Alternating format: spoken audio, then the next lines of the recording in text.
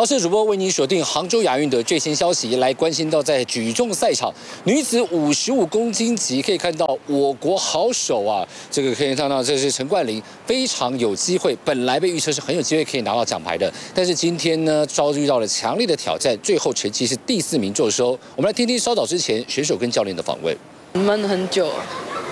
就是从知道教练不能到后台的时候，就很没有安全感，因为教练是就是从我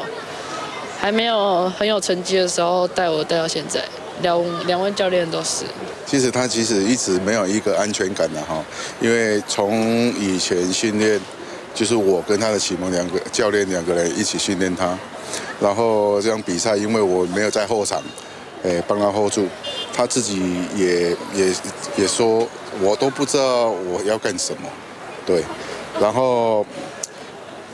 这样子会让他就是在比赛当中就是没有安全感。好，可以看到最后是缴出总成绩一百九十八公斤，排在第四名。那可以看到，其实选手在受访的时候也有提到，其实教练对他来说真的很重要，因为这场比赛呢，教练呢是在看台席呢来帮他这个加油，所以没办法第一时间给他稳定感跟陪伴。最后呢，又遇到了这个韩国，就是北韩的强力挑战。可以看到，甚至还有位韩国选手，北韩选手是打破了世界纪录在抓举这个部分，所以最后呢是以第四名坐收。很可惜没有办法拿到奖牌，不过也定定了未来的后面的几场目标，也希望能够继续努。努力继续的把自己的技艺提升到最好的境界。以上 TVB 新闻在杭州的连线报道，将镜头还给彭内。